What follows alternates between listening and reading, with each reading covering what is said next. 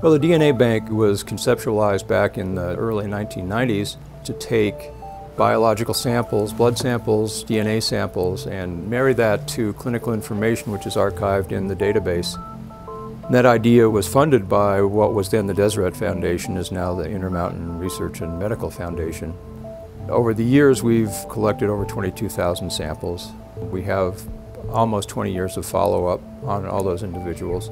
As a result of this archive that we have, we joined an international consortium of multiple centers who combined their samples and their clinical phenotypes to identify what are now the 23 known genes that actually enhance individuals' risk for the development of coronary heart disease.